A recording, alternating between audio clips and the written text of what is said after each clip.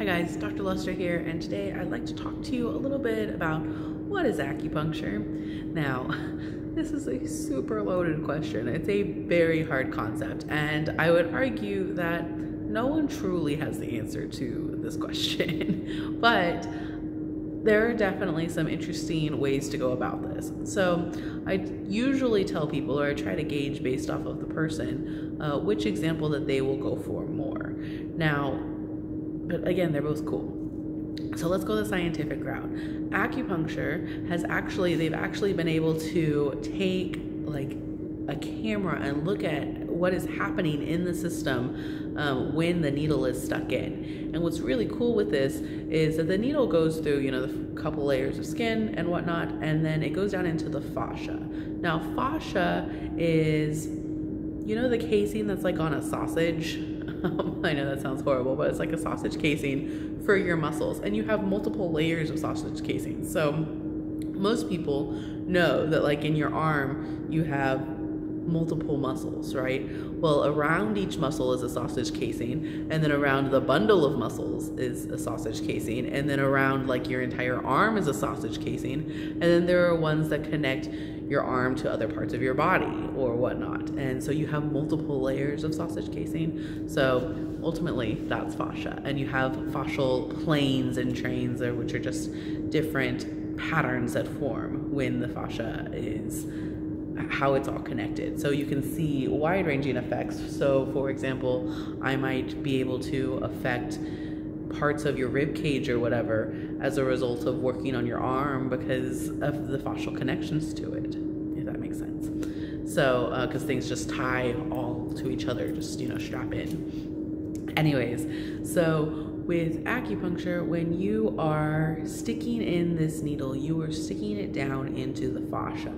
And if you can imagine, usually with acupuncture, a lot of times you'll turn it one way or the other too, which exacerbates what I'm going to say.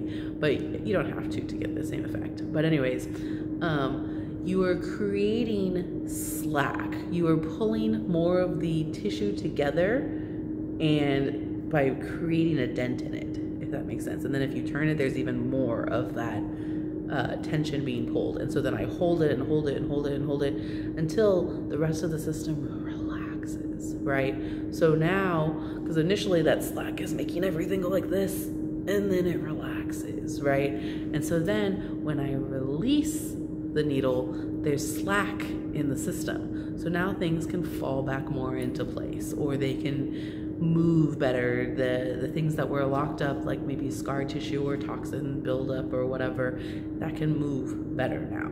So it really does increase blood flow and energetic flow and oxygen and all of the things toxin removal detox all of those things because it created a slack in the system. Now that's the scientific explanation right? Uh, the one that we can measure. Now there is definitely the more traditional Chinese medicine way of looking at acupuncture. And I believe that, I truly believe that it is the better route of looking at this because um, there's so much about acupuncture that we don't understand why it works, but it really does have these profound effects and we see them clinically.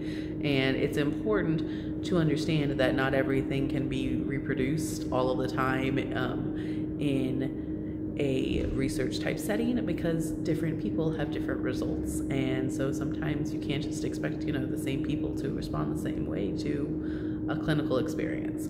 So um, clinically it is profound the effects that acupuncture has. And it can have a lot of different effects on a lot of different internal organs or um, disorders of the mind like uh, anxiety and depression and whatnot. Um, one of my former clinicians actually he did a whole lot of research specifically on how acupuncture affected anxiety. That was his go-to um, and the effects that it has and it's pretty significant. So um, the ramifications i guess of acupuncture are huge and so to try and explain it as you know like oh we're creating slack in the system to release some things i think is doing it a little bit of a disservice um, just because Yes, but if that's the case, how are we affecting, you know, the level that we see of affecting, you know, the emotions and the mind and the organ systems and whatnot. And it could be through just slack of the system, who knows? But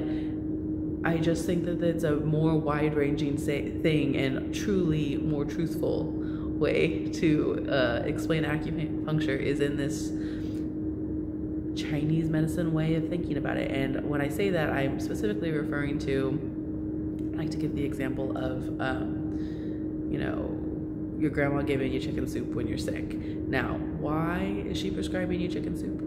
Now, there are a lot of actual benefits to chicken soup that we could break down in science and say, you know, like, ah, because it has this protein and it has these, you know, antioxidants and blah, blah, blah, blah, blah. Yes, it, there are some things in there, but your grandma doesn't know that, you know, and neither did her grandma or whatever. But for whatever reason, someone along the line found out that chicken soup was a good thing to give people when they were sick, right? And there are some things you just kind of intuitively know. Like we just know as people or like or as living beings. You know, I always find that it's funny. Uh, another great example is when people are hurting, they're also they're always kind of trying to stretch or move in ways to help release the thing. Um, that are similar to what I would be doing in an adjustment. They just can't quite get it all of the way, but your body intuitively knows what motion it wants to release it. Um, so, kind of the same thing with acupuncture. I think we are doing it a disservice to just say that um, it's just as simple as this when truly there is some intuitive aspects to this to say, like, I don't know why if I put a needle here, it affects all the way down there, or it affects my gallbladder or whatever. Um, but it does and it works. So, does it matter why?